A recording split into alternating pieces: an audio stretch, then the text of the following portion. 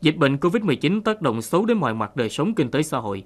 Đối với lĩnh vực thương mại, biểu hiện rõ nhất là sức mua trên thị trường giảm. Lượng khách đến các trung tâm thương mại, chợ siêu thị hay cửa hàng tiện lợi trong tháng 2 vừa qua giảm từ 30 tới 40% so với tháng trước Tết. Lượng khách đến nhà hàng, khách sạn, quán ăn, khu vui chơi cũng trong hoàn cảnh tương tự, khiến cho doanh thu thương mại dịch vụ giảm khoảng 20%. Do các doanh nghiệp của tỉnh chủ yếu là doanh nghiệp nhỏ và vừa, năng lực tài chính hạn chế, nên khi dịch bệnh bất ngờ xảy ra, doanh nghiệp khó xoay sở, thích ứng. ảnh hưởng rõ nhất, rõ nét nhất đó là kim ngạch xuất nhập khẩu. Là rõ nét nhất, cái thứ hai nữa là thương mại dịch vụ. Thì đó là hai cái ảnh hưởng là rõ nhất. Mà hiện nay là con riêng cái hoạt động này thì trước đây là chúng ta chỉ có ảnh hưởng ở Trung Quốc. Nhưng mà bây giờ đã tới Hàn Quốc. Hàn Quốc thì sẽ ảnh hưởng nhiều đến cái tỉnh Bà Rịa Vũng Tàu thì à, báo cáo với các đồng chí là hiện nay thì cũng chưa có nghĩa là vờ vẫn manh nha thôi chứ còn chưa có có, có đến mà phải phải đến cái mức mà phải báo động. Tuy nhiên hiện nay là chúng tôi vẫn vẫn đang tổng hợp để báo cáo lên với lại cục xúc tiến thương mại của bộ công thương để họ tìm cách chuyển tìm hướng để tìm khách hàng chuyển đổi cho cho cho một số các doanh nghiệp. Ảnh hưởng nặng nhất do dịch Covid-19 là ngành du lịch. Tổng lượng khách lưu trú tháng 2 chỉ đạt 200.000 lượt, giảm 32% so với cùng kỳ. Doanh thu lưu trú đạt 431 tỷ đồng, giảm 8,7%. Một số chỉ tiêu kinh tế khác của tỉnh dù có tăng trưởng nhưng mức tăng không bằng cùng kỳ năm trước.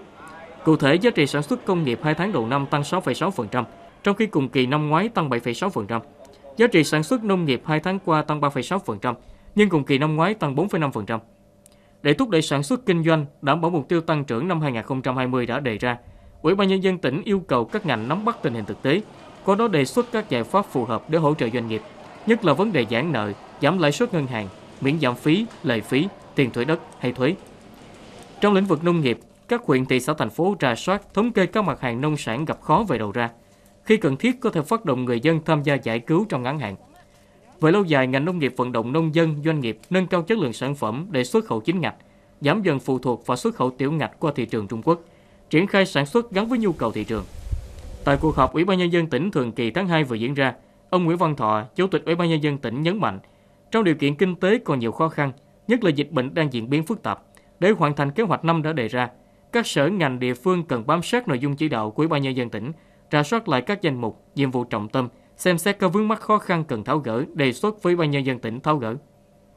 Bên cạnh đó, các sở ngành địa phương phải tăng cường đối thoại, lắng nghe ý kiến doanh nghiệp, có giải pháp hỗ trợ tháo gỡ khó khăn để thúc đẩy doanh nghiệp phát triển. Do vậy tôi đề nghị các đồng chí căn cứ các cái nghị quyết, các chỉ thị lần họp trước cũng nhắc rồi, thì các đồng chí là tập trung để là, là, là có cái giải pháp căn cứ vô các cái nghị quyết hội đồng nhân dân rồi các cái chương trình kế hoạch của tỉnh. Thì các đồng chí rà soát lại kể cả là cái nghị quyết cái ờ, phát triển kinh tế xã hội địa phương. Các địa phương các đồng chí căn cứ các cái nội dung này để tập trung lãnh đạo chỉ đạo thực hiện các cái nhiệm vụ liên quan tới doanh nghiệp thì à, tôi cũng đề nghị là các ờ, sở ngành, các địa phương các đồng chí tiếp tục là hỗ trợ, có giải pháp hỗ trợ.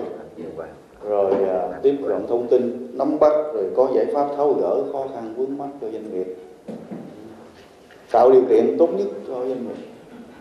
Hạn chế bớt các cái thủ tục, các cái nội dung không cần thiết và đảm bảo đúng quy trình, quy định để là thúc đẩy các công hộ với những giải pháp kịp thời, sát thực tế và đặc biệt là tinh thần triển khai khẩn trương, quyết liệt, đồng bộ, tỉnh Bà Rịa Vũng Tàu phấn đấu đạt tốc độ tăng trưởng khả quan trong bối cảnh dịch bệnh COVID-19 diễn biến phức tạp. Qua đó, góp phần hoàn thành các mục tiêu phát triển kinh tế xã hội đã đề ra.